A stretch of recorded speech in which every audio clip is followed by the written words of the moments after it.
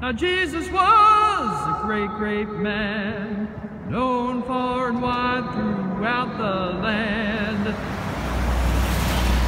Some people thought he was nuts, not right in the head, but he raised a few eyebrows when he raised the dead. Now he was a good shepherd to his sheep, a man of the people, no, he was not weak. He